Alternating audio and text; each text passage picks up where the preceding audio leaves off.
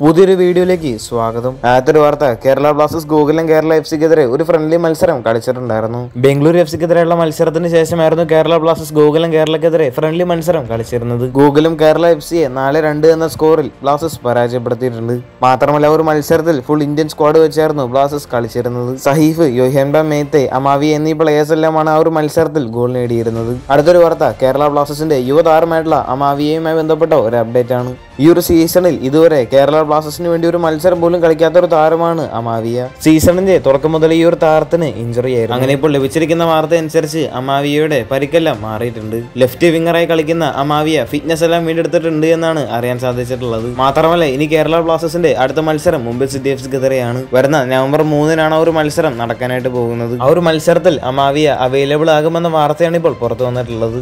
പരിക്കിലായിരുന്ന അമാവിയെ ഇപ്പോൾ തിരിച്ചെത്തിയെങ്കിലും കേരള ബ്ലാസ്റ്റേഴ്സ് ടീമിൽ ഇനിയും ചില താരങ്ങൾ പരിക്കിൽ നിന്നും റിക്കവർ ആവാനുണ്ട് ആരാധകരെല്ലാം കമന്റ് ബോക്സിൽ ചോദിക്കുന്ന ഒരു കാര്യം കൂടിയാണ്. പ്രബീർ ദാസും അതുപോലെ തന്നെ ഈശാൻ പണ്ഡിതയും എവിടെയാണ് എന്നുള്ളത്. സീസണിന്റെ തുടക്കം മുതൽ ഈ രണ്ട് പ്ലേയേഴ്സിനും ഇഞ്ചുറിയാണ് ഇപ്പോഴും ഫുൾ ഫിറ്റ്നസ് ഈ രണ്ട് താരങ്ങളും വീണ്ടെടുത്തിട്ടില്ല എന്നാണ് അറിയാൻ സാധിച്ചിട്ടുള്ളത്. കഴിഞ്ഞ സീസണിൽ പോലും കേരള ബ്ലാസ്റ്റേഴ്സിന് വേണ്ടി വളരെ കുറച്ച് മത്സരങ്ങളായിരുന്നു പ്രബീർ ദാസ് കളിച്ചിരുന്നത്. അതിനുശേഷം താരം കേരള ബ്ലാസ്റ്റേഴ്സിന് വേണ്ടി ഐ എസ് എല്ലിൽ കളിച്ചിട്ടില്ല. അടുത്തൊരു വാർത്ത Kerala Blasters Mumbai city F C മത്സരത്തിന് മുന്നോടിയായിട്ടുള്ള പ്രസ് മാച്ച് കോൺഫറൻസുമായി ബന്ധപ്പെട്ട ഒരു അപ്ഡേറ്റ് ഇപ്പോൾ പുറത്തു വന്നിട്ടുണ്ട്. ബ്ലാസ്റ്റേഴ്സ് താരമായിട്ടുള്ള കോമി പെപ്പറയും അതുപോലെ തന്നെ മിഖാൽ സ്റ്റെഹ്റയുമാണ് പ്രസ് മാച്ച് കോൺഫറൻസ് അറ്റൻഡ് ചെയ്തേക്കുക. പ്രസ് കോൺഫറൻസ് നടന്നേക്കുക വരുന്ന വെള്ളിയാഴ്ച രാവിലെ പതിനൊന്നരയ്ക്കായിരിക്കും. അടുത്ത മുംബൈക്കെതിരെയുള്ള മത്സരത്തിൽ ടീമിൽ ചില മാറ്റങ്ങളെല്ലാം ഉണ്ടാകുമെന്നാണ് പ്രതീക്ഷിക്കുന്നത്. കഴിഞ്ഞ മത്സരത്തിൽ കേരള ബ്ലാസ്റ്റേഴ്സ് പരാജയപ്പെട്ടത് കൊണ്ട് തന്നെ ഇനി മികച്ചൊരു തിരിച്ചുവരവ് ബ്ലാസ്റ്റേഴ്സിന് നടത്തേണ്ടതുണ്ട്. നിലവിൽ പോയിന്റ് ടേബിളിൽ ആറ് മത്സരങ്ങൾ കളിച്ച കേരള ബ്ലാസ്റ്റേഴ്സ് എട്ട് പോയിന്റുകളുമായി എട്ടാം സ്ഥാനത്താണ് ഉള്ളത് ഈ ഒരു വീഡിയോയുമായി ബന്ധപ്പെട്ട നിങ്ങളുടെ അഭിപ്രായമൊക്കെ താഴെ ഒന്ന് കമന്റ് ചെയ്യുക. കൂടുതൽ ഐ എസ് എല്ലുമായിട്ടും കേരള ബ്ലാസ്റ്റേഴ്സുമായിട്ട് ബന്ധപ്പെട്ട വാർത്തകളെല്ലാം അറിയാനായിട്ട് ചാനൽ സബ്സ്ക്രൈബ് ചെയ്യുക. അടുത്തുള്ള ബെല്ലൈക്കൺ ഓപ്ഷൻ ചെയ്യാൻ മറക്കരുത്. അടുത്തൊരു വീഡിയോ ആയിട്ട് നമുക്ക് വീണ്ടും കാണാം.